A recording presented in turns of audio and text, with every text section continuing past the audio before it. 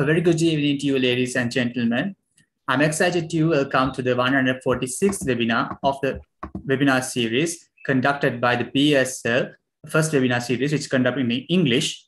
The webinars are conducted on the Zoom platform, and for those who have been unable to register on Zoom, could also join by watching the live stream on the BASL YouTube channel. These webinar series are organized by the Seminars Committee of the BASL, Chairman of the Seminars Committee, Mr. Rajiv Amarasuriya, Convener of the Seminars Committee, Assistant Secretary, BASL, Mr. Pasindu Silva, and the co-conveners, Mr. Pandulavanya Arachi, Mr. Oshan Udayaratna, Ms. Anne Devananda, and Ms. Nikini Maptigama. I further take this opportunity to thank the President of the BASL, Mr. Saliya Pieris, President's Counsel, and other members of the Management Committee of the BASL for all support and guidance. Today's topic is law of negligence, and it gives me great pleasure to introduce this team panel and moderator for this evening. Mr. Nihal Fernando, President's Counsel, was called to the bar in the year 1982, and Mr. Fernando was conferred as a President's Counsel in 2004. With over 30 years of experience as a litigation counsel practicing predominantly in civil and commercial law. Mr. Fernando has been recognized by Legal 500 as a lead counsel in the Asia Pacific region, who is a prominent figure in the finance and corporate sphere. Also, Mr. Fernando has also been recognized as one of the top eight leading practitioners in Sri Lanka by publications such as Chambers and Partners. And also, we have with us Mr. Riyad Amin, attorney at law, he has obtained his LLB from University of London, and LLM from University of Colombo, and another LLM from King's College, London. He is a barrister of Lincoln's Inn, and he has been in practice in the bar for 23 years. Next, we have with us Dr. Avanti Pereira. She's a senior state counsel at the Attorney General's Department. She holds a master degree in international law from the University of Cambridge, a doctor, doctorate in law from the University of Oxford, and also a BA Special First Class degree in English from the University of Colombo. Dr. Pereira is in the Supreme Court unit of the AG's Department and has wide experience in the fields of fundamental rights and constitutional law. As a supervising officer, medical negligence has been an area assigned to her. She has represented the government of Sri Lanka in negotiations of bilateral agreements and also been invited by the World Health Organization and the World Intellectual Property Organization as an expert and a resource person at international fora. Dr. Pereira is the author of the book Medical Negligent Claims in Sri Lanka, and she regularly makes scholarly contributions on this subject on the invitation of medical legal fraternities. Dr. Pereira has previously served as a visiting lecturer at the Department of English University of Colombo, and a graduate teacher at the Faculty of Oxford University. Further, she is a fellow of Cambridge Commonwealth Society. And the moderator of the session this evening is Mr. Amit Silva, attorney at law. He has obtained a first class honors at Sri Lanka Law College with LLB from Open University of Sri Lanka and LLM from the University of Colombo. Also, he has admitted as an associate member of CIMA UK in 2008. He has been in practice in the bar for 18 years, both in original and appellate courts in commercial litigation, covering the areas of insurance law and damages claiming, including claims on medical negligence, the topic for today. Members joining the session by Zoom may send in their questions through the Q&A chat box to reach the moderator. I will now hand over the proceedings to the moderator. Over to Mr. Silva you. Welcome. When one lives in a society, he has to be mindful to live in a way that his actions do not affect others. This is the duty he owes to the society. Naturally, when there is a breach of this duty by a wrongful act or omission, the law intervenes to make things right. In a very simple form, this is our topic for today. It is interesting to see that this simple principle has many applications to different situations we face in our lives. Mr. Nihal Fernando, President's Counsel, is one of the senior most civil practitioners we have at the bar. Sir, will you be able to enlighten us on this very vast topic in a summary form for the use of the practitioners? Over to you, sir. Thank you, Amit. Thank you, Amit. Thank you very much. Good evening, ladies and gentlemen. And good evening to panelists. Uh, the topic today given to us is very a very wide subject. It is the law of negligence in Sri Lanka. Now, as you know, when you say law of negligence in Sri Lanka, it is not limited to negligence in delict. So, firstly, what I intend doing is to give you the basis and the boundaries of this subject, and then go into, in summary manner, the areas that should be covered, explaining in a in a in a summary because it's difficult to go through the whole thing uh, within the short period of time. Now, when you say negligence in Sri Lanka, firstly, you got to see what is the source of law that is applicable, the types of negligence, and how it works. Now, when, you when I say source of law, negligence is referred to in common law. Negligence in delict, common law in Sri Lanka is the Roman Dutch law. And as such, the applicable law is the Roman Dutch law, subject to the statutory invasion and uh, encroachment into the common law, which will be dealt in detail by the other speakers. Uh, the main law is Roman Dutch law. In addition to the common law aspect of negligence, which is common law in uh, negligence in delict, there is a statutory negligence aspect of it. Now, statutory negligence, statutory negligence, when you say statutory negligence, there is the strict liability negligence referred to in various statutes, which are, we don't intend, which I don't intend dealing in detail in this webinar because we are giving 90% of the time to deal with negligence in delict, right? So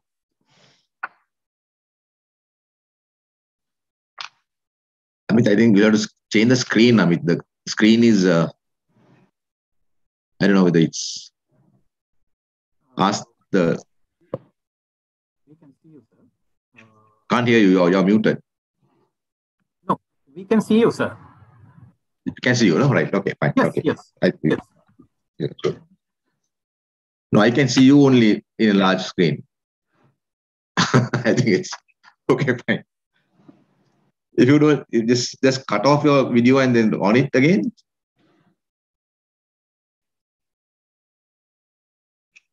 Okay, okay, got it. Right. So to stick again to go through the statutory negligence part of it, the negligence referred to in the statute books. There can be strict liability, and there it, it affects the burden of proof where there are certain conditions that are laid down in proving. For example, before I get to stat, uh, negligence in delict, uh, the Companies Act, the new Companies Act says that if the directors are negligent in dealing with uh, the affairs of a company, in the process of winding up, if it is found that they have been negligent, they'll be liable to return the monies. So the concept of negligence comes in by statute there. Then rash and negligent driving under the penal code, death cause uh, causing death by rash and negligence. It is not murder, it is uh, culpable homicide not amounting to murder. So those are areas, the criminal areas of negligence. Similarly, the case law sometimes uh, encroaches into and then defines what negligence is. In shipping law, if uh, there's a case, Kalani case, which says that if a ship is arrested in a manner gross negligently, which is called gross negligence and mala fides, then the ship owner can claim damages by way of a counterclaim. So all these areas, those are the areas that are covered when you say negligence in Sri Lanka. Now, leaving that aside, we will go now to negligence in delict. As I mentioned, that is the main subject that we are going to deal with. Although the boundaries of this topic is fairly large, I mean, extent, extensive. Negligence in delict is delictual liability. Now, delictual liability, when you say delictual liability, how does it work? declare a person negligent or to recover damage, in order to recover damages, it is moreover, moreover necessary to prove that the damage was due to a deliberate act of the defendant, it's called dolus in Roman law, or negligence, culpa. Negligence may be defined as doing of a doing of something which in the circumstances a reasonable man would not have done, or the failure to do something which in the circumstances a reasonable man would have done.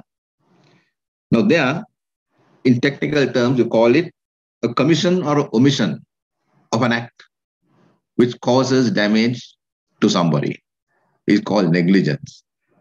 How do you assess negligence? How do you define, how do you find that you're negligent? The standard applied is that the reasonable man Uh, in Roman law is Roman law. The case required is not the highest possible care, but the degree of care which might be expected of a reasonable man in the position of the defendant. The Roman lawyers at that time recognized three degrees of culpa. But the only two degrees of culpa which are of any importance is the culpa lata, that is the gross negligence, which is of so serious and reckless in character as to amount to almost to a deliberate act, and culpa levis, the ordinary negligence, which will entitle an injured person to damages provided it is not so slight as to the shade off into a mere accident. There is, moreover, no such thing as negligence in the abstract.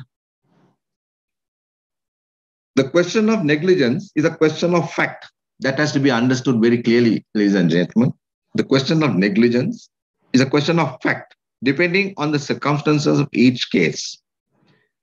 The duty of care arises whenever a reasonable man in the position of the defendant ought to know that a failure on his part to exercise care might result in damages to another person and need not therefore take the precautions against the mere possibility of harm not amounting to such a likelihood as would real, be realized by a reasonable and a prudent man.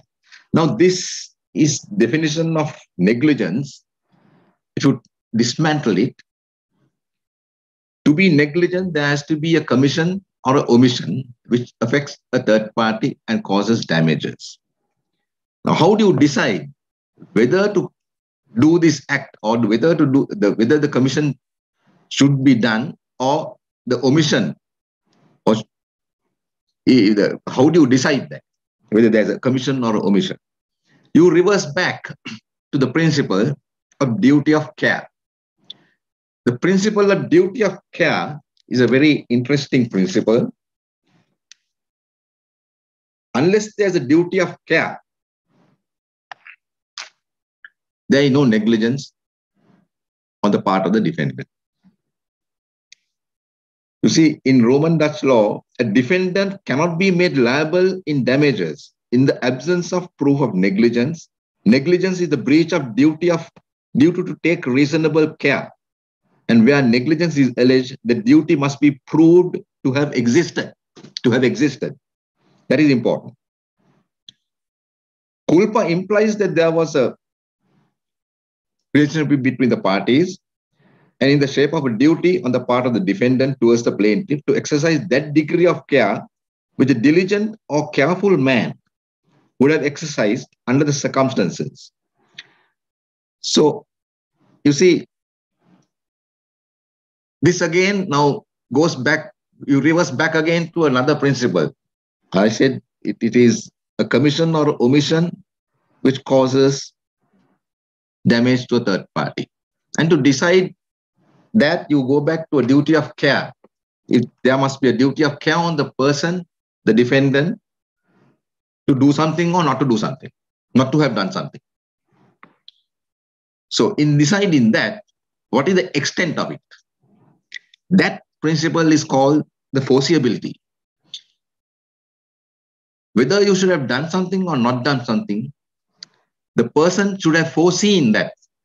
A reasonable man should have foreseen if he does something that will cause damage to that third party, the party who is injured. Or if he does not do something, it will cause damage to the party concerned. So you see how it go, works. You start with the foreseeability of your responsibility to society. You must be vigilant. I mean, a simple example is that if a lawyer doesn't doesn't study his study the law and is ignorant of the law and advises a client and does something, surely he, he should know that if his, his ignorance will cause damage and he should foresee that is foreseeability. Or if a drunkard man gets into a vehicle drunk intoxicated he should know he will not be in a sense proper senses to drive the vehicle and he may cause damage no that is foreseeability he should have foreseen that or if at a crossing somebody jump go, uh, crossing you're expected to slow down and see whether anybody is crossing the road and if you don't do that, you foresee that the person will get injured. Or in medical negligence or whatever, Dr. Avanti will deal in, in direct, uh, I mean, directly on that subject. If you have a dispensary or a surgery without proper equipment, you should know your foreseeability. You will foresee that if you do some operation without, or uh, what you call it, disinfecting the equipment, the patient will get some infection. So that is foreseeability then you fix the foreseeability you you a reasonable man you don't you're not expected to foresee things that you cannot cannot envisage or you don't i mean you will never think of there's a limit to that so foreseeability a reasonable man would see what will happen to the other party if you don't do something or not do something and then the, there's a duty to do something or not to do something so that is how this framework of negligence works. There's a duty of care to do something or not to do something.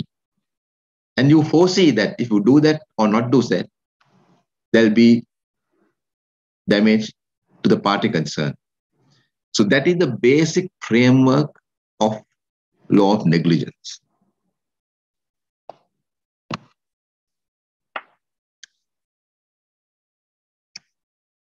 to put it very in a technical way, duty arises in Roman Dutch law whenever the defendant whose act is com- at complaint of should reasonably have foreseen the possibility of harm being caused by his act to another person, except perhaps in the cases in which the act complaint can be said to be justified or excused. You see, so there's slight difference between the English law and the Roman Dutch law which I believe Riyad Amin will go through that in detail. So that, having said that, what are the defenses that, or, or what are the uh, the burden of proof and the defenses that person has when you plead negligence? One of the main defenses, or before I get to that, before I get to the defenses, there, is, there are certain circumstances where there is strict liability, where there is res ipsa loquitur, the principle of res ipsa loquitur. This deals with under burden of proof. If a man drives a vehicle and goes into a bus stand and injures a person or kills a person who is peacefully sitting there waiting for a bus, the burden of proof changes. The facts speak for themselves. You don't need to prove that he is negligent how it happens and whether he was foreseen and all that. The burden of proof shifts when it comes to res loquitur.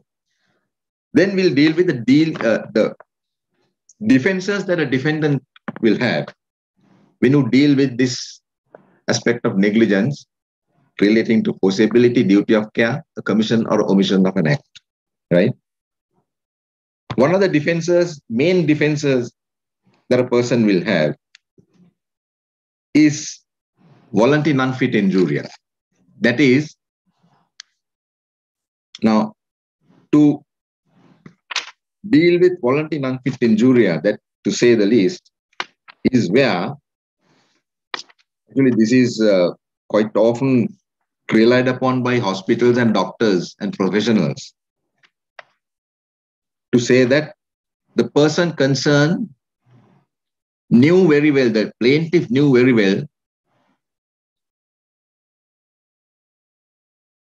him or her entrusting something to be done to the professional or the doctor will may cause damage and knowingly and willingly consents to the procedure being done. There are certain operations where mainly cosmetic surgeries, where you, in medical negligence cases, you produce the consent form.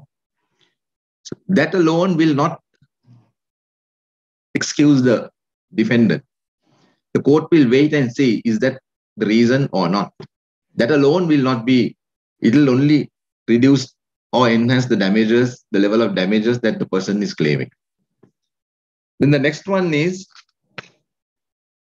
contributory negligence. Now, when it comes to contributory negligence, the mere fact that you have pleaded guilty in the magistrate court or in the court of law doesn't mean that the defendant must pay the entire damage to the plaintiff. If a person, you know, there are cases where in a hotel, the interesting case where we settled it is all over. In a luxury resort, down south. This person was going in a speedboat. And there were instructions to wear the jacket, life jacket, and to be seated with your belt on. This man stood up and was trying to hold his hands wide. And what happened was another speedboat went and knocked his arm, and his arm got dislocated totally. So you see, there, it is true that the second speedboat was going at high speed and should have avoided this other boat. But this man was expected to be seated with his belt on. But when in fact he stood up and put his hands away, he was basically asking somebody to. There's a degree of negligence on his part also. So in those circumstances, you plead in Latin what you call it in pari delicto potiois conditio defendens. The plaintiff himself is negligent to a great extent, right? There are cases where I have done cases where uh, a trishaw, in a trishaw, a person fell off the trishaw and injured, I mean, the, the knee was injured, badly damaged, crushed. But there was no damage whatsoever to the other vehicle, the van or the bus that was that had knocked in. So what happened is that this trishaw driver has packed this trishaw with far more than number of people that he could carry in this trishaw. And this man's leg and his head was outside the trishaw, right? A bus overtaking or a van overtaking knocked his leg and he continued. So when the police came, they found that there was no damage to either vehicle. It's just that this man's leg has been injured.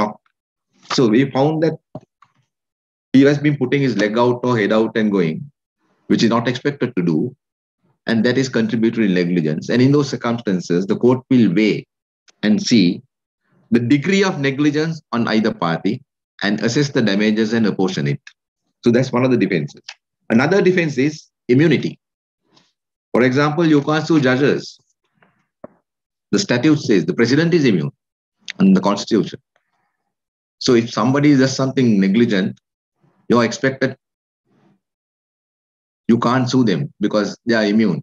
Judges can't be sued for wrong orders that are given or opinion that is done in the best interest by a lawyer. It, it, it, or appearing in court, you're immune. What you say in court is you're immune.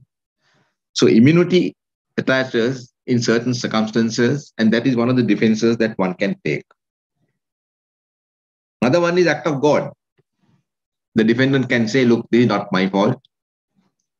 Although I took all the precautions, sorry, this is what happened. It, it, it is, I couldn't have avoided it. Another defense is cons consent I dealt with. The consent part of it I dealt with, where you give a consent to do something voluntary, and then that is. So those are some of the defenses that they have. Now, to deal in detail with, as a litigant's point of view of negligence, we're not drafting papers or pleadings. The law makes it obligatory on the part of the plaintiff to plead details of negligence. The court is not expected to go on a fishing expedition to see how the defendant was negligent. The plaintiff should deal with that in detail and plead the person who is negligent and the manner in which that person is to be fixed for his breach of duty, the omission or the commission. And in what manner, even in a simple accident case, you have to say that the person was negligent in this manner and plead A, B, C, D. He was driving fast. He was not, didn't take any care about the other people on the road. Or he drove a vehicle without brakes. When he gets into the car and finds that his brakes are not working, now he has he, that is foreseeability. There's duty of care. And he, he should have ensured that his brakes are on properly working before he started the vehicle. So those are things that has to be pleaded in the plaint. In detail, you have to plead negligence in the plaint. Another aspect that I want to deal with is the pleadings is one thing. What are the consequences of claiming damages in the in a, in a pleading in a court of law? Now, in a court of law, there are two things that one has to prove very people, a lot of people, particularly outstation courts, when we go, we find that a lot of people, they fix the negligence part of it, the liability part of it, but forgets to prove the damages. Now, that is very basic. There are two aspects to it. First, you got to prove your liability. You fix the liability. Then you prove your damages. Damages depends on the circumstances of the case for example, in the case of personal injury, you get the special damages and the general damages. Special damages is the actual cost incurred or the expenses that you have incurred in getting yourself back to the same place, position, restoring back yourself in the same position. And the general damages is the long-term inconvenience or the damage that have been caused to you, which is assessed reasonably by a judge, considering the age of the plaintiff, the measure he could do another job. All those things will be considered. Then, with regard to what kind of damages that you can claim is also to be considered. There are encroachment of, I mean, the, the common law principles in Sri Lanka. It is pecuniary loss, that is, actual damage which can be assessed in money terms, in simple language, is the only damages that can be claimed pain of mind cannot be claimed in Sri Lanka, except that recently there was a act enactment where they imposed, brought in pain of mind where the death is of a particular category of person, the father, mother, the relation, and the circumstances. In those circumstances, you can claim pain of mind by a limited category, which will be dealt in detail by the other speakers. So those are the subjects that I intended doing in giving the basic structure. Uh, culpa was dealt with, then positive act of omission and commission. The neighbor prince now, you know, this subject goes in, you know, such a vast subject, it's difficult to deal with the whole thing. When you say duty of care, there's the Donoghue Stevenson principle, where the where the where the you don't have to have a relationship with a particular person to cause the damage. For example, industrial and manufacturing concerns, or you uh, they they manufacture something and put out to the public, or they put out something that is uh, a drug which doesn't work properly and has side effects, which is uh, which is not manufactured properly, subject to guidelines. You see, or certain uh, now in this Donoghue Stevenson, is the famous case where they you don't have to identify the the person who will be injured. It may be the public at large. So anybody who is affected can be can sue the manufacturer, right? Then that that will be part of the other one that I want to tell you, uh, inform, uh, deal with this.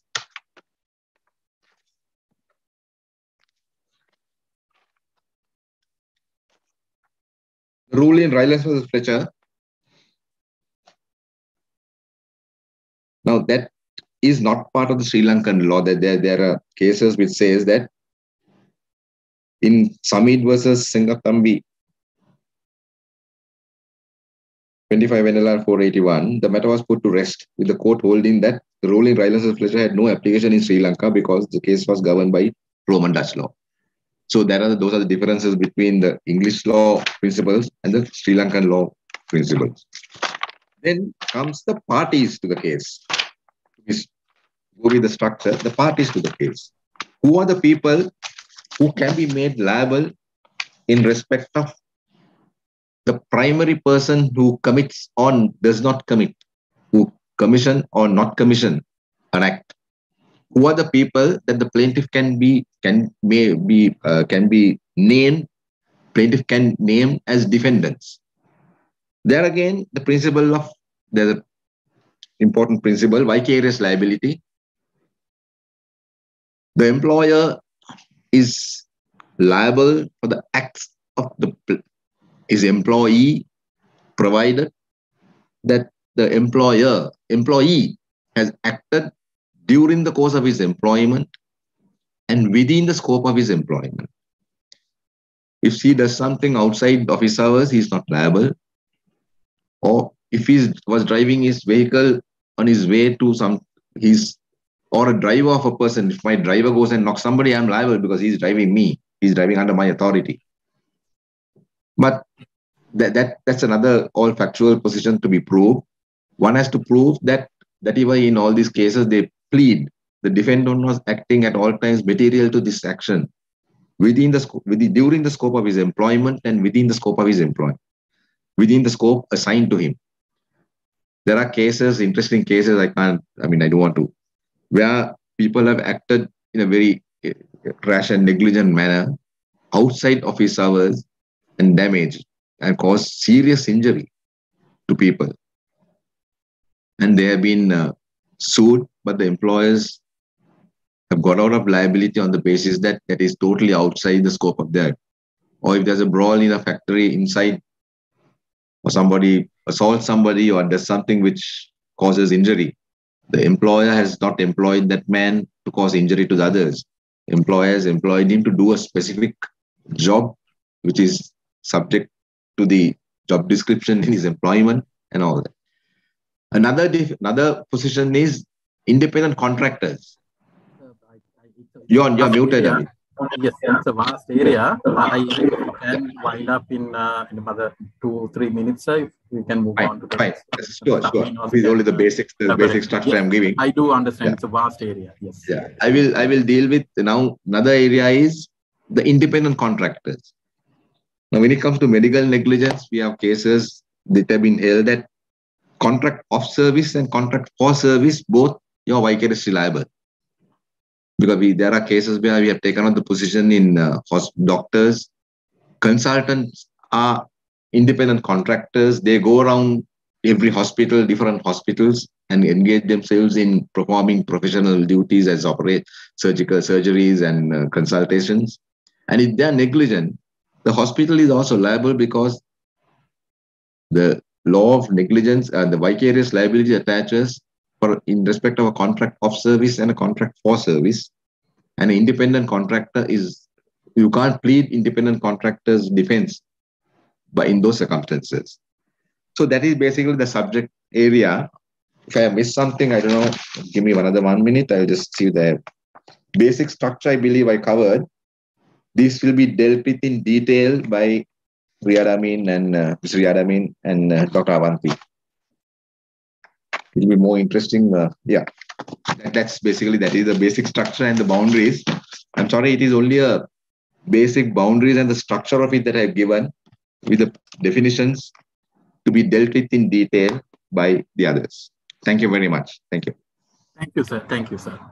Uh, as uh, Mr. Nihal Fernando, President's Counsel explained, our general law in this regard is Roman Dutch law.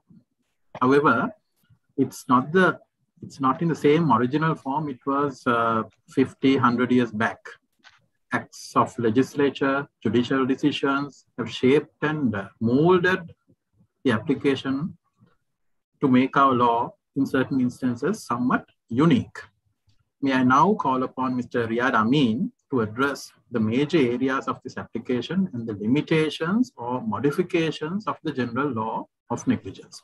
Over to you, Mr. Amin. Good evening, ladies and gentlemen. Um, let me take it from where Mr.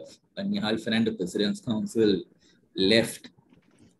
Uh, the general law of delict is Roman Dutch law, as he explained, but there are certain segments of the law of delict uh, that deviate from the Roman Dutch law as it originally existed. So the two areas that I'll be dealing with are uh, contributory negligence and um, the recent amendment to the recent Act number 2 of 2019 that deals with uh, actions relating to deceased persons where they have died due to a wrongful act or negligence of another person. Um, so let me start with contributory negligence first. Um, Roman Dutch law has its origins uh, somewhere towards the end of the medieval period, 15th, 16th, or the 17th century. Um, but Roman law predates all of that. Roman law is, is around the 5th century. It's uh, Justinian's time, Emperor Justinian's time. Uh, Justinian's code was enacted in uh, around 540, 538, around that time. And the Institutes of Justinian also date back to that period. So classical Roman law was, uh, was in that era. And at that time, uh, there was no known concept of contributory negligence uh, there was lex aquilia, and if the requirements of lex aquilia were satisfied, uh, the claimant was entitled to damages. The defendant had to show that the, those requirements had not been fulfilled. And to that extent, he could use the negligence of the claimant. But contributing negligence was not a known defense at that time. Um, moving ahead about a thousand years to the medieval period, about the 15th or 16th century, um, many people found that Roman law to be unsatisfactory. There were moves to change it. Um, there were different there were different uh, attempts made towards changing it. Um, the first to change it, first to attempt to change it was the Dutch. Uh, they didn't change it the entirety of the law of delict. They they started with the ship collisions. And for ship collisions in the uh, 18th century, uh, they started apportioning damages depending on the culpability of uh, two ships that collide. Um, so as uh, that was only limited to that area. It didn't extend beyond ship collisions. And as far as the rest of the law of contributing negligence was concerned, they applied what was known as the all or nothing rule. That is, if the defendant was able to show that the damages suffered by the plaintiff was due to the negligence of the plaintiff or the plaintiff was uh, contributed to the negligence, the defend that was a complete defense. The plaintiff was not entitled to any damages. There was no question of portionment of damages or reduction of damages. Like I said, except for the, the Dutch deviation, the Roman Dutch law deviation for, for ship collisions, except for that. Classical Roman law was the all or nothing approach, as is commonly called, where if you prove, if the defendant was able to prove contributing negligence on the part of the plaintiff, that is, that the damages were caused with the negligence of the plaintiff, that was a complete defense. The plaintiff was not entitled to any damages at all.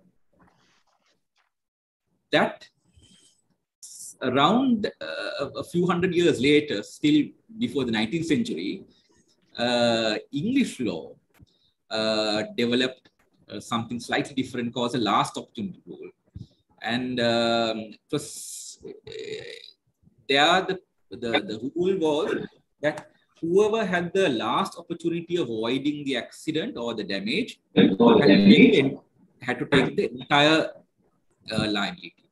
So um, if, if the plaintiff had the last opportunity of avoiding the damage, the plaintiff was liable for the entirety of the damage. If the defendant had the last opportunity of avoiding the damage, the defendant was liable for damage. So that's how, that's the principle that English law applied. It's called the last opportunity um, the reason I mention this is because you, you, if you go to the law reports in Sri Lanka uh, from about 1 NLR all the way up to about 50, 60 NLRs, you see, uh, you see these principles being used.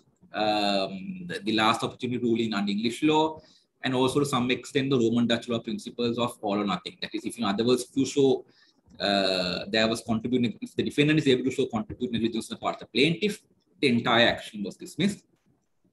If the uh, there was no case of apportionment. So this was found to be unsatisfactory uh, by most commentators, and there was a uh, there was a push for law reform. Um, in Netherlands, in the um, in, in about 1918 or 1920, the Supreme Court delivered a judgment. Uh, the Supreme Court of Netherlands delivered a judgment where they uh, recognized apportionment. South Africa, which was still applying Roman Dutch law, didn't have apportionment. So there was a push for uh, reform of the law in South Africa uh, by introduction of a statute. And they were looking towards English law. Uh, in England, there was a push for reform. The same, they were also unhappy with the last opportunity rule. And in so it all started with uh, the change that happened in uh, in England. In England, in in the uh, about the 1945, they passed the Law Reform Contributing Negligence Act, um, and uh, that act allowed apportionment of damages. So it, it was no longer a complete defense. If the defendant was able to prove that the plaintiff was responsible for the uh, the, the, the plaintiff was also negligent, the damages would be reduced. It, it, was no longer a case where the plaintiff's action would be completely dismissed. Um, that reform that took place in England in 1945 uh, also happened in South Africa. I don't have the year, but at some point, and it also it happened in Sri Lanka in 1967. 1968, Act number 12 of 1968. So by Act number 12 of 1968, uh, Section 3 effectively uh, changed the common law that existed. So a lot of the judgments that you would find reported from one NLR all the way up to about the uh, 60, 60s NLRs, you'd find has now been changed by Section 3 of Act number 12 of 1968.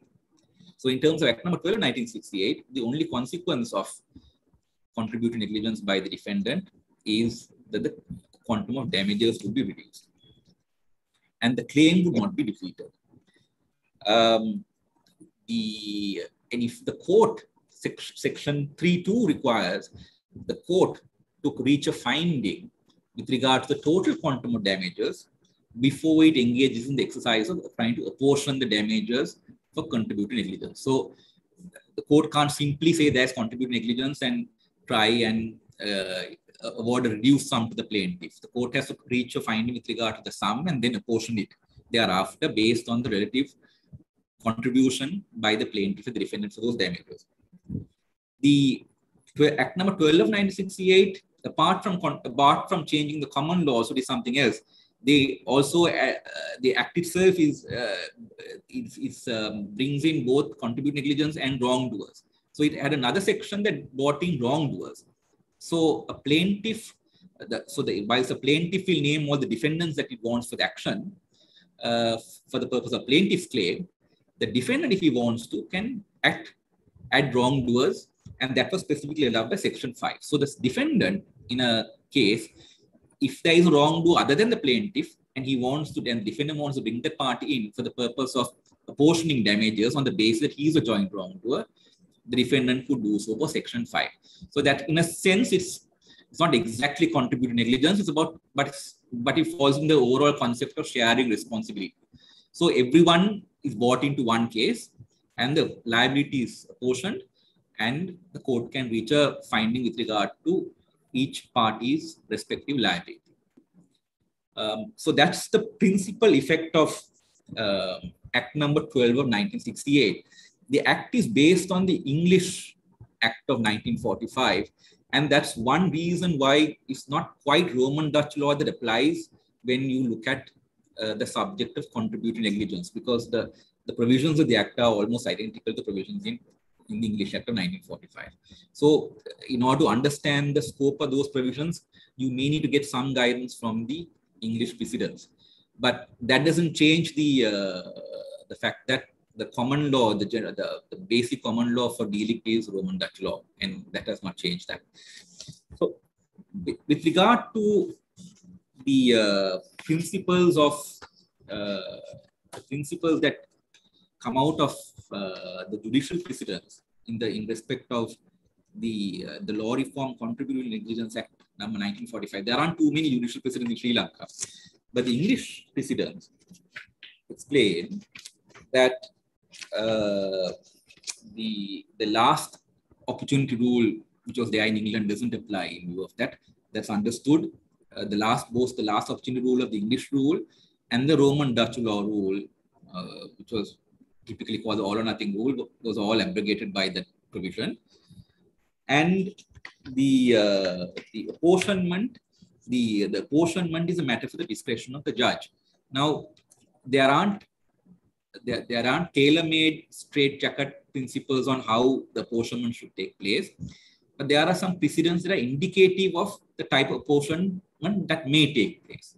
So, uh, so if it's a traffic accident, typically the type of uh, uh, contributing negligence that could be attributed to the plaintiff is the plaintiff, if he was a passenger or driver, was not wearing the seat belt, he, his lights were not working, or his lights were not on, uh, the he headlights were not on, or the normal lights were not on. His tires were not in, uh, in proper condition. It, it skidded more and therefore caused more damage.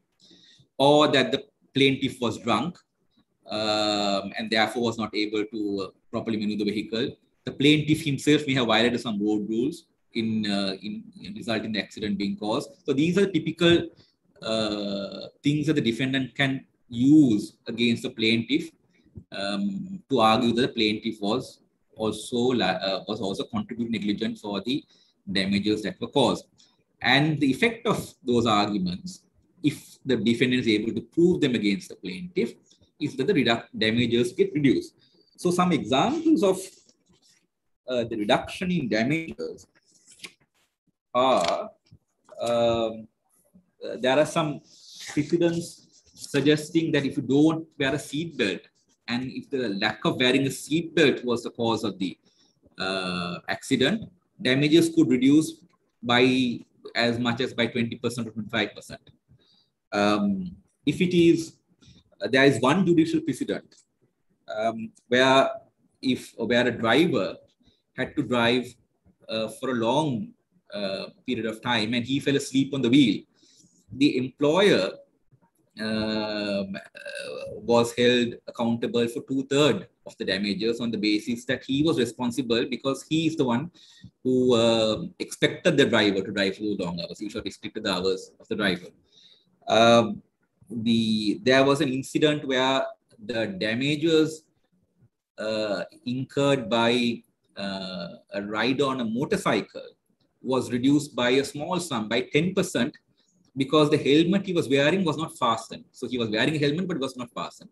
So for that act of contributing negligence, his damages were reduced by a small sum of 10%, but still it was reduced. So the percentages may vary. Ultimately, what the court is expected to look at is, uh, I mean, as Mr. Fernando explained, damages have to be proved. So you have to ultimately prove the quantum of damages that you're claiming. And uh, the court may have to look at the acts of contribute negligence, see what those acts of negligence, what damages were caused as a direct result of those uh, acts of ne contributing negligence, and try and somehow make a reasonable assessment of the proportion that must be reduced on account of that contribute act of contributing negligence once proved. It's not an easy task.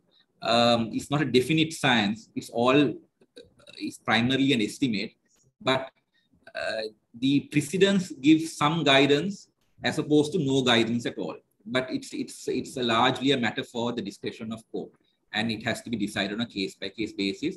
A lot of would depend on the evidence that is led, uh, the type of damages that are caused, the quantum of damages, and the relative importance or the relative unimportance of the negligence that the defendant alleges against the plaintiff uh, with regard to the cause of damages vis-a-vis in comparison to the total damages that were caused in that particular accident. So it's not an easy task. It's a difficult task for the for the court to uh, arrive at in most cases. Um, and uh, but, the, but those are the principles that the court might be guided by. Now, before I leave uh, the topic of apportionment, um, there is one precedent um, that must be mentioned in the context of uh, contributing negligence. And um, that's the principle that, you know, in sometimes um, accidents, accidents or acts of negligence may be caused by um, events that um, require sudden decisions. And you often don't have the luxury of time to sit in a, you know, in an AC room and think about the consequences that might follow um, uh, because you have to take a sudden uh, call as to which what steps you're going to take. So uh, the precedent that relates to that point, it's referred to as Jones versus Boyce. It's an old precedent of 1816. And the, the principle there is that um, if there, uh, the, uh, if due to, uh, if the negligence of the defendant puts the plaintiff in a position of imminent personal danger, then conduct by the claimant which in fact operates to cause harm to him, but which is nevertheless reasonable in the agony of the moment, does not amount to contributing negligence. So what it means, what in effect it says is, if the agony of the moment requires you to sort of take a decision which may nevertheless still cause you damage, uh, and because of the agony of the moment, you couldn't elect between the better choice and the not so better choice. You still can't you can't be held accountable on the basis of contributory negligence. So the example that the facts of that case was that uh, it's an old case in 1816, a time when you know there weren't cars, there were wagons and horses, and um, the, uh, the the negligence was placing some piles on the road, and the the horse uh, became uh, ungovernable uh, while uh, going down the hill, and the plaintiff chose to jump off the horse and suffered injuries. Instead of electing to stay on the horse and go over the piles and suffer the consequences of what may happen if that happened. So he had a choice. He could stay on the horse or jump off. So if you take a modern example, it might be a case where uh, the defendant uh, has caused some accident on the road and uh, there is a there is a huge fire on the road and you are driving the car. So you have the option of either trying to brake and, um, uh, and risk colliding with that flaming vehicle, or you risk jumping off the car, uh, hoping not to go into that risk, that collision. So, and you might suffer more damages if by jumping off the car. But possibly in a later trial, with all the expert evidence, you might be able to you know, more effectively prove that if you were not jumped on, off the car, but remained in the car, you might have suffered less damage. The question is, should it be contributing negligence? So the principle in Jones as a Boyce is that in that sort of case, uh, the concept of contributory negligence may not have a place. So it really requires uh, negligence in a case where you know you have had some time to think things over and you have had and you had foreseeability that your actions can result in damages. So typically a case where you get into the car, you don't wear a seat belt, and you know you you travel a distance and you have an accident. Of course, at the time when you got into the car, you didn't wear the seat belt. You knew that if there was an accident, you will suffer more injury. So that sort of act is clearly contributing negligence. So another is you know going through a red light. Uh, you go to red light, you know there are other vehicles that might uh, come into collision with you because they'll be going through a green light. And naturally, that will be contributing negligence because you are trying to think it over before you went through the red light. So, uh, uh, you know, a modern day example is, uh, you know, after footlights, you might get into a vehicle with a colleague who is completely drunk.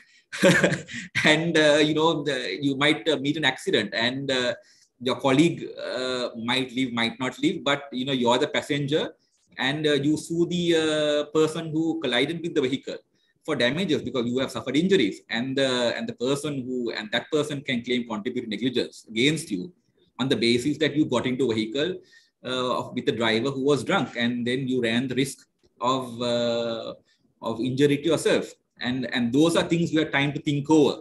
Uh, as opposed to um, things that catch you uh, with limited time and choice uh, due to spur the moment, like what I said, you know, when you have uh, two or three options and you have like a second or 10 seconds to think it over, that type of act is arguably not uh, caught up in the concept of contributory negligence. But these are not precedents that have been decided in Sri Lanka, so it has to be possibly tested in Sri Lanka. But uh, there is some precedent suggesting that that line of authority. Right. Up uh, in a few minutes, if you can wind up. Yeah. Uh, moving on from contributing negligence to Act number uh, 2 of 2019, it's a short act, um, two pages, five sections. Um, it, the purpose of the act is to settle the law with regard to the consequences that follow if the injured party has died from, uh, from uh, due to the actions of the wrongdoer. Um, it identifies the type of people who can be substituted. Um, the spouse, parents, children, siblings, grandparents, and the guardian. Uh, they are identified as applicants. Um, so if the wrong, if, if the injured party dies due to uh, the, the wrongful act, these people can file action uh, as, um, as beneficiaries um, they uh, they can also be substituted during the case. Um, so the uh, so arguments of succession, the right to survive, uh, will hopefully uh, go go to rest because of the new act. Uh, it also settles the law that uh, if a person dies, then these applicants, the spouse, parents, and siblings and children, and so on, can ask for two additional categories of damages which were possibly anyway allowed under common law. That is loss of a person's love and affection and care and compensation and mental pain and suffering. So that's in addition to whatever other damages that the uh, plaintiff would have been enti- plaintiff is entitled to. Um, the, uh, the however, if the applicant itself, the applicant himself dies, there is no case of substitution. In other words, if the person to whom the wrong was done died, and survived by the spouse. If the spouse dies, that's the end of that. There is no case of further substitution beyond that. There is provision for uh, an expert to be appointed. Um, unfortunately, the wording of the section is not entirely satisfactory. Um, it says that the expert is appointed, uh, the court may for the purpose of deciding any matter under this act, uh, call one or more persons specially skilled in any matter relevant to the matter under consideration. Um, so the the fact the, the the, the wording of the provision that calls upon it to uh, that limits it by reference to this act can possibly be used by uh, a party to say that the expert can uh, only be called for uh, the specific matters that are contemplated under this act and not for the entirety of the action. Um, in which event the whole purpose of the expert is limited. If that argument is not upheld, then the then the ability to call an expert is uh, is welcome. The uh, expert is obviously called by court. Uh, it doesn't have to be listed by the party. Um, the fact that it means called means possibly the court may question the witness. I'm sure the, the, the plaintiff and the defendant will be allowed to question the witness. Uh, but those provisions have not been dealt with expressly. It may come up in case law uh, down the line when this act comes up for interpretation. Um, that's it for me, Amit. Thank you. Thank you very much, Mr. Amin. Uh, years ago, medical procedures were something that was exclusively within the knowledge of medical professionals. And non-medical persons found it difficult to understand what medicines were given to them or what kind of procedures were done on them. With the internet, things have changed now and people have become more knowledgeable. This knowledge has given rise to many cases being filed against doctors and hospitals for wrongful acts of omissions. Dr. Pereira, uh, will you be able to explain the salient matters uh, relating to claims on medical negligence?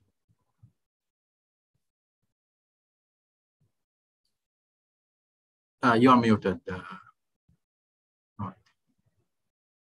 Dr. Pereira, you're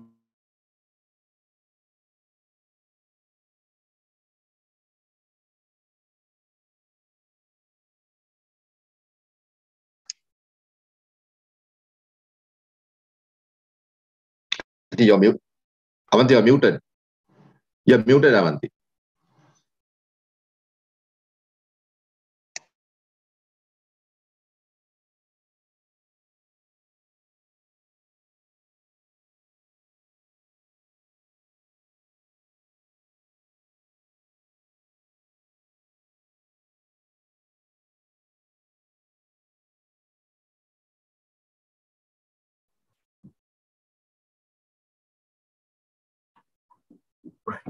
Uh, Dr. Pereira. Uh, yes, can you hear me now? Yes, yes, yes. Please go ahead. Thank you very much to the Bar Association for inviting me uh, as part of this eminent panel of uh, in, in this webinar series. Um, so I, I will deal specifically with one uh, area of negligence, that is medical negligence. When we mention medical negligence in Sri Lanka, the first and perhaps only case that comes to mind is, of course, the case of Priyani Soysa versus Rienzie Arsecularatne. While that Supreme Court judgment was a watershed moment in medical negligence jurisprudence in Sri Lanka, and Justice Dheeraratne analyzed all the important principles involved not just in medical negligence, but an Aquilian action under common law in general. Much has happened and changed since then. For example, the pre-trial process introduced in 2017. Then, as Mr. Amin mentioned, the enactment of the Recovery of Damages for the Death of a Person Act, number two of 2019. So what I propose to do is to place an incident of medical negligence within the framework of the larger law of negligence, and then trace the developments beyond and after the Priyani Soysa case. A lot of issues remain problematic areas in medical negligence litigation, whether you may be representing the plaintiff or the defendant. So I hope my brief presentation will open up a discussion on those areas. And myself, along with the two other panelists on this webinar, will be able to provide some clarity on those issues. The two speakers before me have already touched on the ingredients of a civil action based on a claim of negligence. I would like to begin by examining those ingredients in the context of medical negligence. So as Mr. Fernando spoke extensively about the duty of care, um, when we think of a, the, although we only think of the doctor very often, the surgeon as having a responsibility or a duty of care towards patients, there are several others in the healthcare service sector who may owe a duty of care and whose acts and omissions, therefore, would result in liability for medical negligence. For instance, the house officer or ward doctor who fails to monitor the progress of a patient the nurse who ignores the cries of a patient complaining of discomfort, the hospital itself for failing to provide proper medical equipment or skilled staff. Sometimes it may be a combination of errors which lead to a medical injury. But it is important to be able to identify the duty bearers and the nature of their individual duty towards the patient. This is all the more important because as Mr. Fernando says, said in a negligence, in, in a plane, the negligence has to be set out in detail. Who owed the duty of care? How did the breach occur in, in that duty of care? Uh, and if you are the plaintiff and you need to ultimately prove causation, you will have to clearly demonstrate not only how the breach of a duty of care caused an injury, but who was responsible for that breach. In my experience, especially in civil cases where the Attorney General undertakes uh, the brief to represent all or some of the defendants. Uh, vicarious liability is claimed against the state or a provincial authority who is the employer of the doctor or nurse. However, from a reading of the plaint, it is often apparent that there has been a systemic failure, a common and repeated injury uh, caused during cannulization, that is inserting a cannula into a patient, is piercing of an artery in the arm especially where child patients are involved because their limbs are small and it's very difficult to locate a vein. So sadly, many of these cases lead to setting of gangrene because there's blood clotting involved if you pierce an artery and the blood circulation is interrupted. And then finally, it might lead to having to amputate the arm of that child or person who is affected. Now, this was exactly what happened in a relatively new case that reached the Supreme Court in medical negligence. As you are aware, medical negligence litigation is actually rare compared to other negligence cases. And it was certainly very rare uh, in, in, at the time uh, the Priyani Soysa case, case was uh, argued. Now, of course, there's, there's more uh, litigation in this sphere. But in that, SC Appeal 152 of 2011 SC minutes of 11th October 2018. Many, this was what happened because the nurse had pierced an artery after having engaged in about 30 minutes trying to locate a vein of this infant who was 21 days old. Now, many years before that, during my field research, I found that this was a recurrent problem. Uh, a lot of claims hadn't reached uh, courts, but I, I interviewed a lot of those who were aggrieved by, by following up on media reports, etc. And this was predominant in, in my uh, uh, the, the, research participant cohort, uh, that a lot of children had had their limbs, uh, the limbs had had to be amputated because of damage caused to the artery during cannulization. So in this, in this case, in, in uh, in the SC Appeal 152 of 2011, as I said, it was a 21 year old infant at the special baby care unit of the Ketumati Hospital in Panadura, where nurses were actually specially trained. There was evidence led to say that there was training offered to these nurses.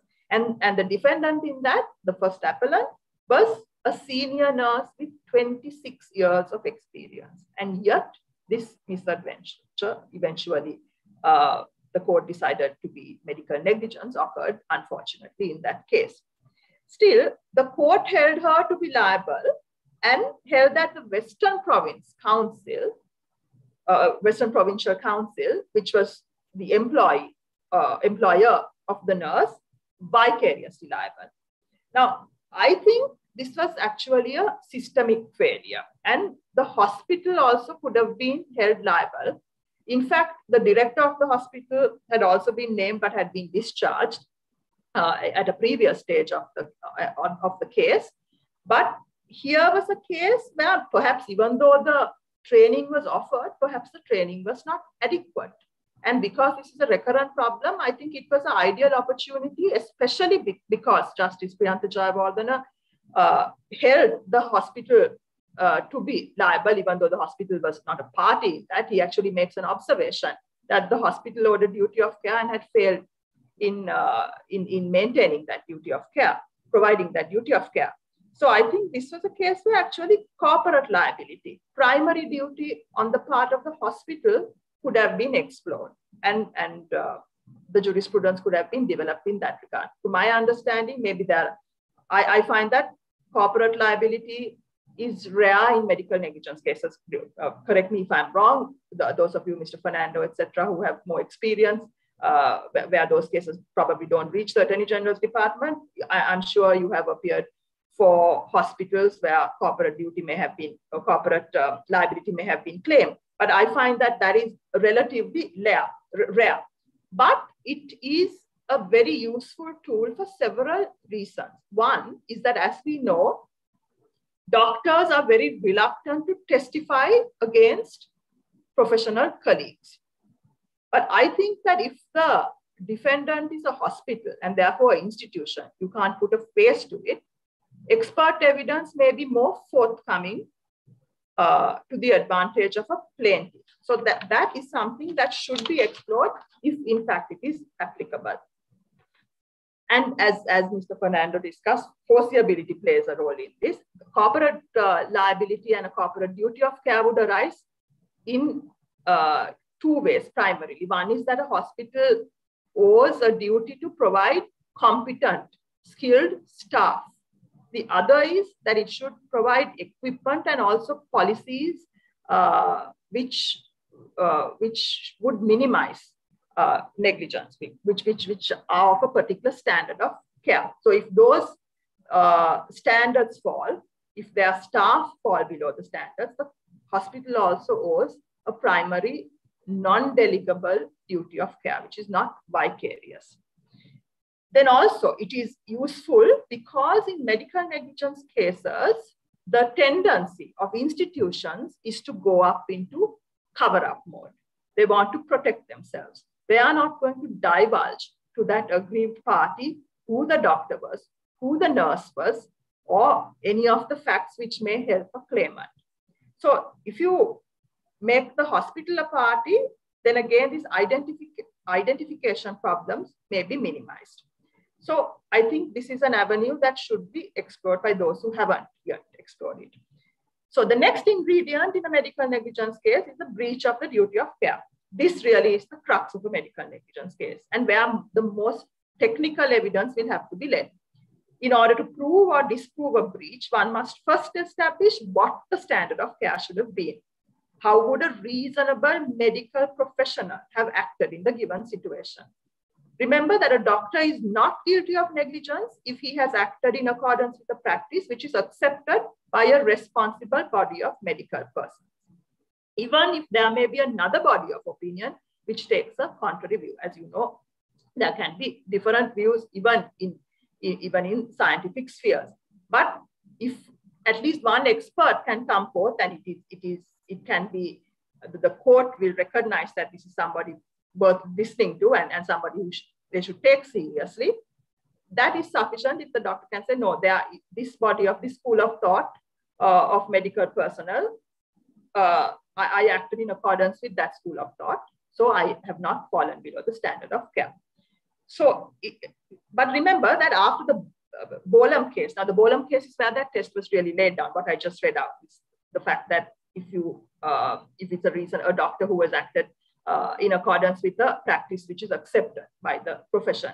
So that was the Bolam test. And for those lawyers representing, I said it's enough if you can find an expert who will uh, testify to that standard uh, observed by the defendant doctor. But you must remember that after the Bolitho case, which came uh, 30 years or more after the Bolam test, in the Bolitho case, now judges, it was recognized that judges can exercise discretion to reject even an expert medical opinion if it is not capable of withstanding logic. So often we think that in these types of very specialist uh, litigation, the judges might play a passive role and leave it to professionals to argue it out because I mean, as lawyers, as, as those with only a legal education, what do we know about medicine after all, right? But here in this Bolitho case, it expressly recognized that a judge, judge is expected to engage in a more critical assessment of medical evidence rather than unquestioningly accepting expert testimony. Whether they do it or not in Sri Lanka is, of course, another matter. However, both the medical and legal systems have developed in Sri Lanka since the Priyani Soysa case.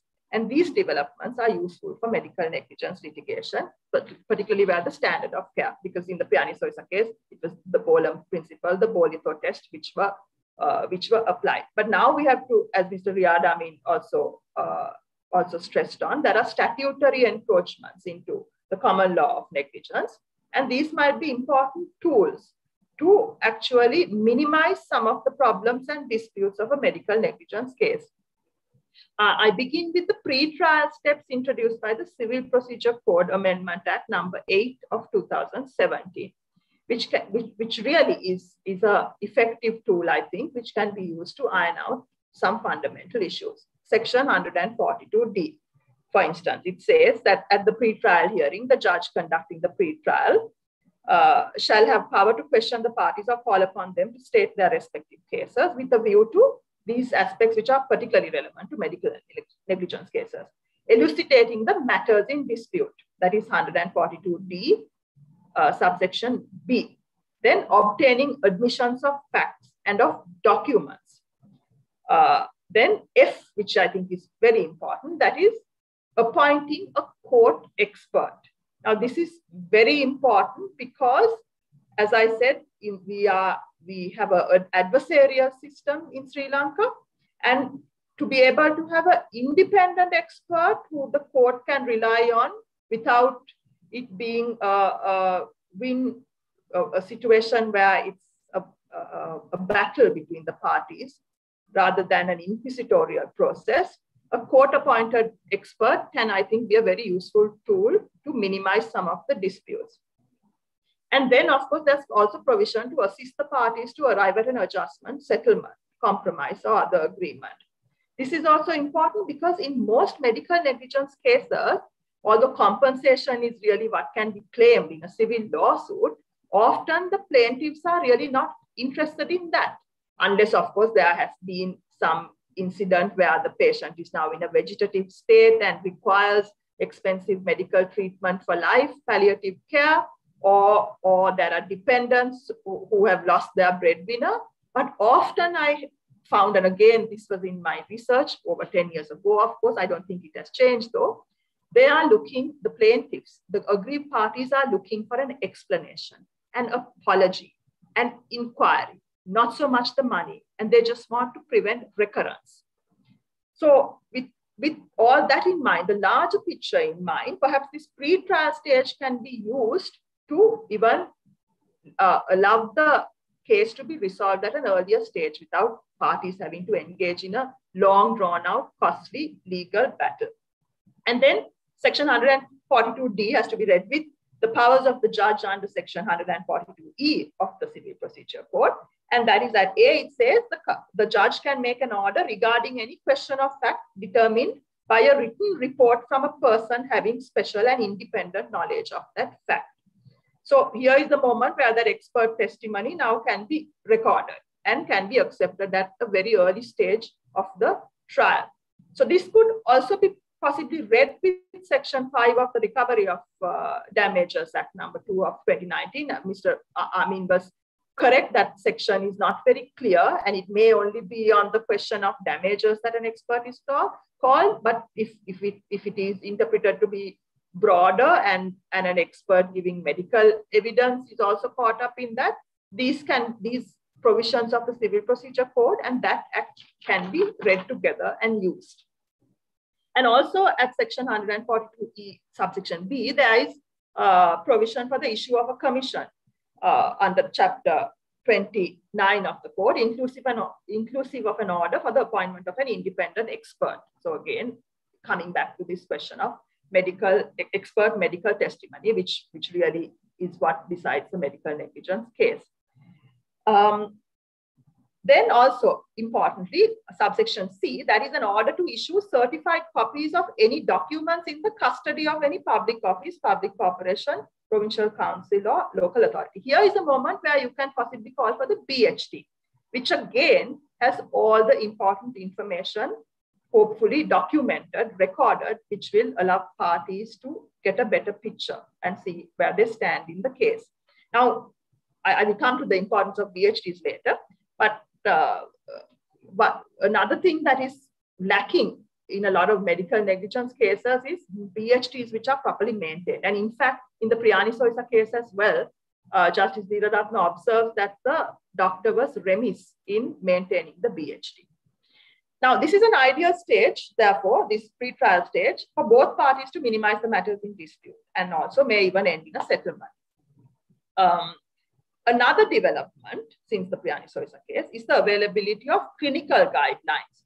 Uh, even then, perhaps there was, but now it, it, it is available in more, more spheres of the, the med medical profession uh, which can be used to minimize the trial into medical technicalities. Now, even in that SC Appeal 152 of 2011, they looked at the protocols which should be observed with regard to cannulization and how much time, the, the monitoring process, how long it should take, etc., etc. So there were clinical guidelines set down by the our national guidelines here. It could be also set out by professional colleges, the different colleges of surgeons, or college of general physicians, etc., etc uh, what the standard is. So then again, you don't have to rely on experts because here it is, it is all documented and the, the adversarial nature is minimized. Another important thing, I mean, this is my, my take on it, uh, probably not used, but may, may be used, uh, is the RTI Act, uh, where, as you know, Section 5E excludes access to medical records because those are confidential matters, right? But I think uh, it can be used for a plaintiff who says that there is systemic error and probably suing on the basis of corporate liability to call for monthly reviews or the reporting mechanisms like there are in hospitals, the mortality rates, there are doctors, uh, the hospitals are required to have these reporting sessions where they assess uh, the past and how you can improve uh, going forward. So maybe that material is relevant to see whether this hospital has a systemic problem.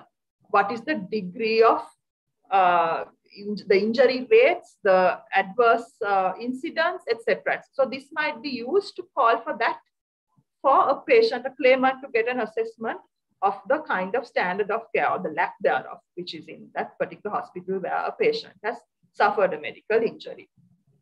Then again, one should be able to rely on uh, uh, the report of a forensic pathologist because that also is sometimes rare. They don't often, the JMO might not record that it's uh, due to a medical error, but sometimes that is recorded. And that's also important that that will strengthen the plaintiff's case. Then of course, as I said, I, I, BHTs are very important.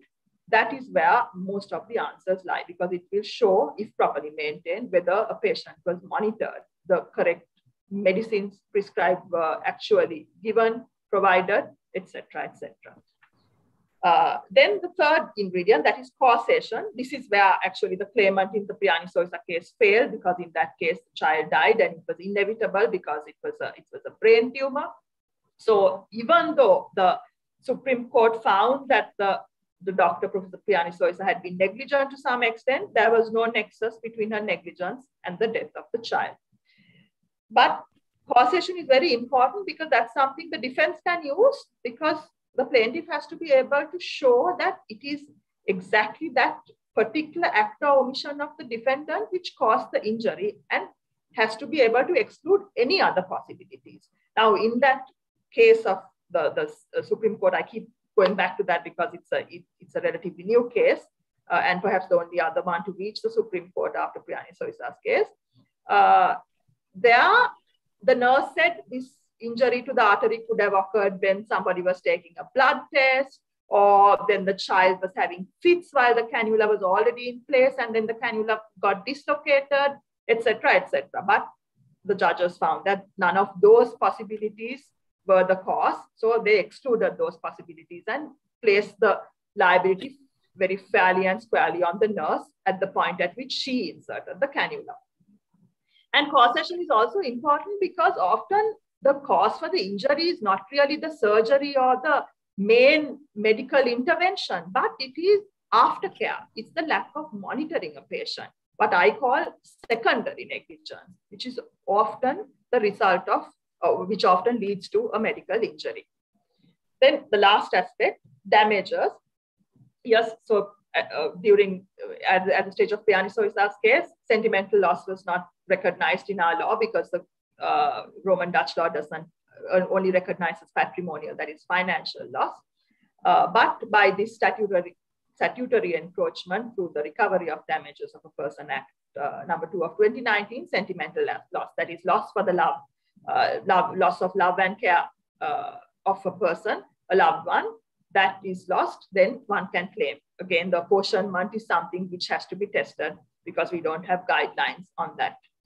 Um, so these are some important features because even sentimental loss, Justice Dheeraratne actually makes a comment that he, it's almost as though he laments that his hands are tied, that he can't uh, uh, really provide this. And he suggests, I believe, that there must be some statutory, uh, statutory um, uh, encroachment to uh, allow plaintiffs to claim this. So, and that happened many, many years later with this act.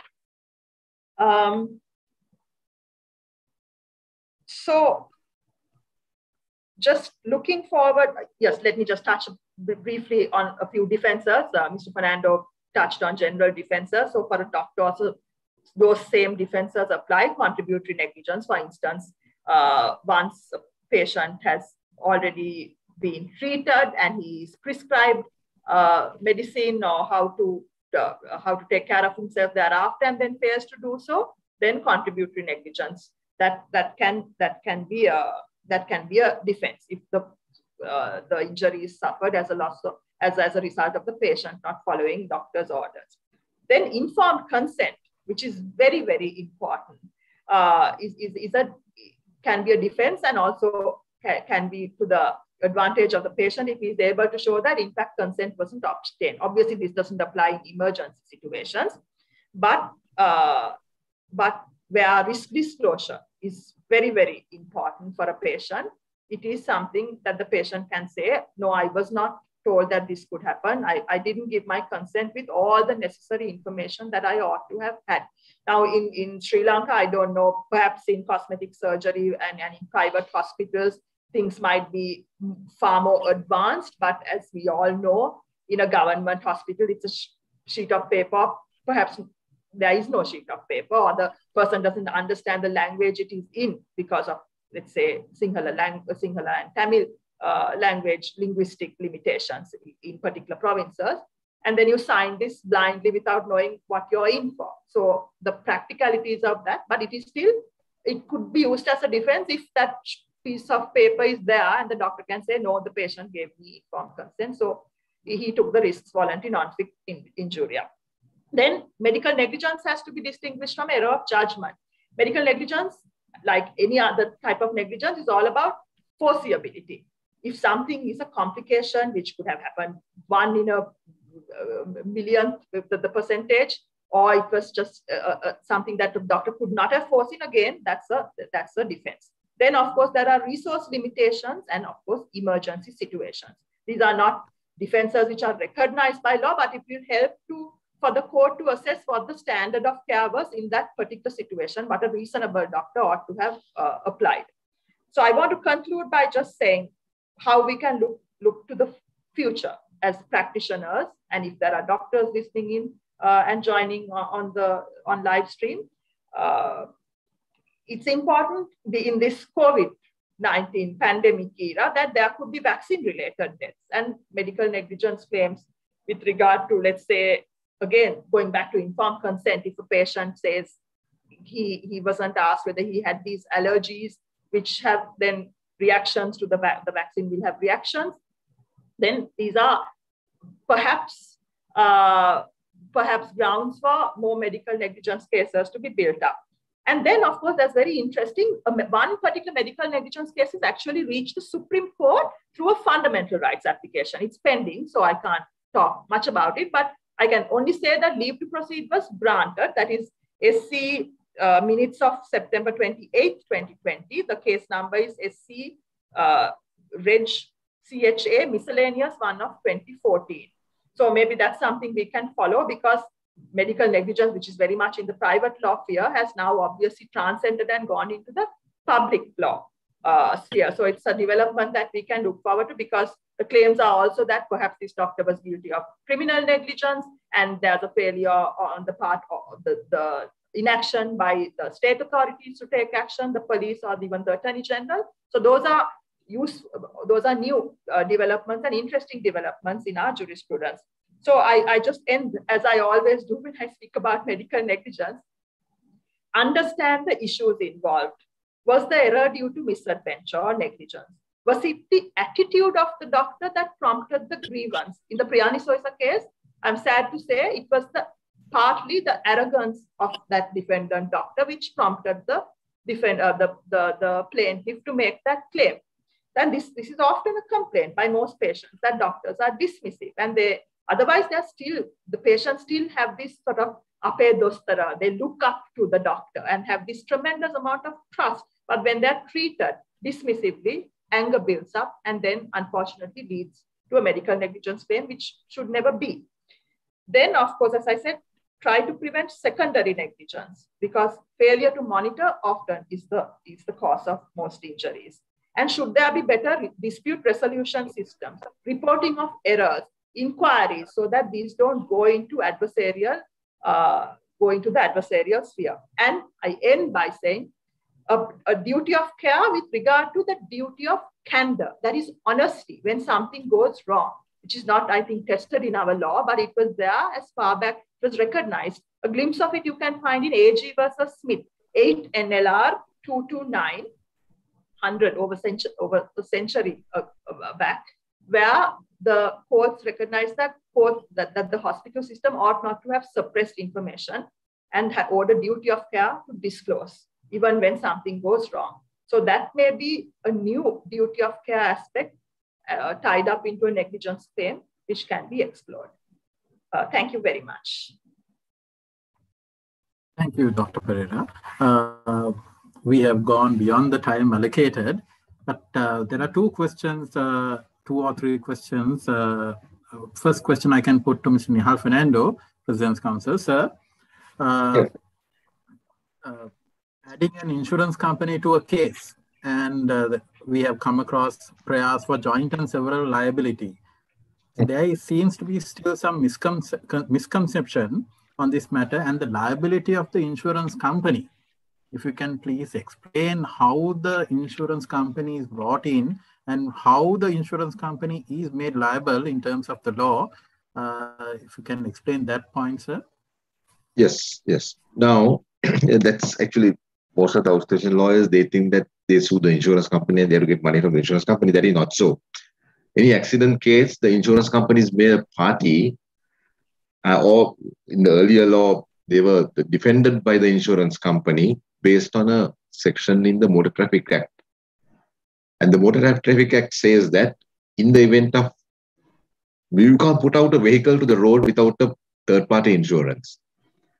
So in those circumstances, a decree entered, a decree entered against the defendant, driver or the owner can be recovered from the insurance company. So the insurance company comes in only at the stage of recovery of damages to satisfy the decree. And this went on for some time and there was a lot of collusion and fraud. In fact, in one of my cases, they claimed 5 million. The insurance company couldn't get the proxy signed. And they went and asked the plaintiff for the uh, the defendants for the proxies. They said, why should I pay, give you the proxies? The plaintiff has agreed to give me 1 million, not to contest the defense, not to contest this case. So they get 5 million, they give 1 million to the defendants and the whole thing. Then the insurance industry lobbied and got the, uh, the Motor Traffic Act amended to make it compulsory to a plaintiff to make the insurance company a party because at the stage of the uh, police statements, they have to record the insurance company's name. So they are aware and they cannot sue without notifying the insurance company of a claim, giving prior notice. In addition to that, they made it compulsory that the insurance company should be made a party so that at least they can contest the liability aspect of it. Now, this is all because in Sri Lanka, there is no no fault liability is not part of the Sri Lankan law. I've been agitating, asking the law commission to put that in like in England. But in Sri Lanka, there is liability arises in respect of negligence uh, for the insurance companies only if it is legally, they are legally liable. So insurance companies don't pay unless they are basically pushed to a corner. So they have they, they get the plaintiffs to file action and then prove negligence. So people think that a lot of the defend plaintiffs think that you know they get they have to be paid by the insurance company. That is not so. It is the insurance company that only satisfies the decree after decree is entered. So because of that, they step into the shoes of the defendants and defend the case, and particularly the quantum. When they know that the insurance is involved, which the damage is 10,000, they'll make claim 1 million or whatever. So that has been the practice. So now this is rectified by this process of amendment to the insurance, the Motor Traffic Act, where it is said that the insurance company being made a party is compulsory. And decree can be enforced against the insurance company in those circumstances. The, recent case which I have now got involved was that uh, where Gamini, Justice Gamini judgment where they say that you can't get a declaration of non-liability even if the the, the person was under intoxication or under influence of liquor and all that. That is not relevant to the negligence part of it. It is only the applicability of this aspect of it. I mean, having said that, before you go to the next question, can I just uh, go on with some other areas which need to be addressed? That is, uh, Dr. Avanti, I think we discussed, you discussed very well about the defenses one of the main defenses, particularly in the case of medical negligence, is necessity, which I forgot, which I, which I missed out when I was dealing with the defenses. Necessity, that is, for example, if a person, a patient is dying and you have to do a particular operation, and if that operation is successful, the patient's quality of life will be much better than without doing, not doing that, or prescribing a drug. So you, the doctors assess how it will affect and how it affects the how the side effects will affect. The will you will the will the side effects be or what is the percentage of this patient getting the side effects? And what will be the quality of life if you take this medication with the side effect? So those are the, defense of necessity is something that is very important to be taken by the doctors. And that, that's very important. The second item that I made a note of it when you were making, Dr. Avanti was making her presentation, because she has a lot of experience in doing these cases, as you mentioned about the public hospitals in Sri Lanka. Uh, I believe there is some law which says that public servants are made liable, they're to be made liable in person, personally. There is uh, there's a book on negligence of public servants, which uh, I've done some research for a pending matter at the moment. Uh, so we find that you can't make the government a party, but uh, you make the attorney general a party probably, but the, the, public servants are made liable in their personal capacity. There is, uh, I have that book with me uh, by Dr. Amar Singh, Public Servants Liability. So that is one other aspect. Other aspect is with regard to, again, uh, the parties, the Civil Procedure Code provides that if the plaintiff is in doubt as to the party who is negligent, and very often, as you mentioned, as your the presentation, super presentation, Dr. Uba mentioned, sometimes the hospital hide things, sometimes the doctors gang up together and don't give evidence. Not only in the case of uh, this kind of operation, even engineers in the construction industry, they do the same thing. So in those circumstances, if the plaintiff is finding it difficult to pin down a person to be directly negligent, or the vicariously liable person, you can make all parties defendants and ask the court to decide after evidence who is responsible. There is provision in the Civil Procedure Code for that. Then, in addition to the uh, new development in the Civil Procedure Code amendment about pre-trial, uh, there has been an age-old section in the Civil Procedure Code asking for discovery and interrogatories. That has to be used. Very few people use that. And I invite most of the plaintiffs, people, lawyers that drop plaintiffs to use that. and ask for interrogatories, question the witness, uh, question the defendants or the plaintiffs. It, pro- it takes a lot of time off. That is to say that the time that it will take to call witnesses and evidence, because you're obliged to answer those questions by way of an affidavit. And they are, you're stuck with that, you know, once you answer. Of course, there's there, there are a lot of fishing expeditions. You can't you can go on a fishing expedition to prove your case by interrogatories. Those are matters that defenses that they can take up. That is another matter. Other one that I wish to state is that uh, even with regard to the construction industry, the construction industry where we have done a lot of work where they construct something which damages the neighboring house and how it could be proved. That I'm saying this because of the sections that you referred to in the in the civil procedure code, the amendment pre-trial proceedings, you can ask for experts, and we do. We quite often do because lawyers are not experts in engineering, and neither the judges. So what they do is it's much easier for them, them to file a motion and say issue a commission and give a report by an independent engineer or the engineer and an expert, quantity surveyor or whatever. So that takes care of major part of your proving your damages when it comes to this kind of uh, cases with regard to how we get involved is in all construction industry. There is an insurance policy called the all party risk insurance. All it's called a all party risk insurance policy where the contractors are obliged to take when they commence construction. That is booming now because of the uh, lot of apartment complexes and high-rise buildings that are coming up. So in those circumstances, when they are sued, the lawyers represent the insurance company and the defend through them the defendants.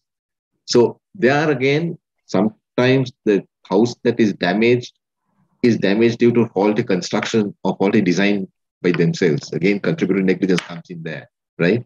And the point that I'm trying to make is that there again, this procedure of asking an expert report is available and should be used by the parties to minimize the time period in proceeding with the case and concluding the case. Finally, you dealt with causation. Another matter that I forgot to inform you is that case law encroachment into the negligence common law aspect of it. Mr. Amin, we will know that Ria, Mr. Amin, you will know that uh, a ship is arrested negligently. There is the Kalani's case, which I mentioned. You can claim damages for wrongfully gross negligence for arresting a ship by a party you can put a counterclaim by the ship owners. Then, proving of damages, there is a Lord Gunnar's judgment where he dealt with uh, Lord Denning. It is a fine, fine quotation which says that you can't, if you are claiming, the, the plaintiff is claiming damages, you can't throw a figure at court and expect the court to give you damages. You have to prove it. You have to prove it. So that is a statement that is used by me quite often in claiming, in, in defending damages claims the plaintiff is obliged to prove the damages in any case. So those are the areas that I thought I will deal with arising out of the uh, superb presentations done by Riyadamin, my friend Riyadamin and Dr. Avanti. Thank you, Amit. Thanks. Thank you, sir. Amit, are you Thank there? you yeah. for the final input. Thank you for the final input, sir. Those were very, very uh, helpful for the, uh, the practitioners. With that, I now hand over the, the, the webinar back to uh, the back to Shamika. Thank you, sir. Uh, thank you, Mr. Silva. With that, I would like to thank our panelists this evening, Ms. Nihal Fernando, President's Counsel, Mr. Riyaj Amin, Dr. Avanti Pereira, and the moderator of the session, Mr. Amit Silva, for very informative and valuable session. I would also like to thank all of, all of you who joined us through Zoom and YouTube, and for your questions that have made this webinar an interesting one. Thank you, everyone. Join us again on next Saturday at 5.30 p.m. on another webinar in this series on a different topic. Until then, stay safe.